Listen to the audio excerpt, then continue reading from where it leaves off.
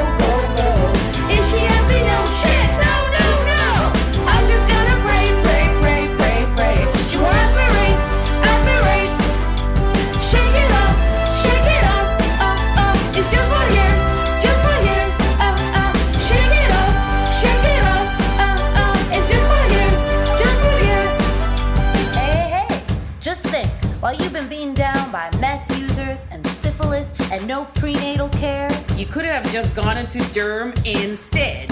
Oh shit.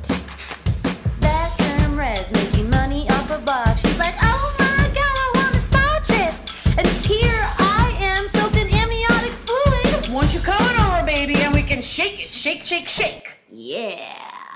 And the lady's gonna put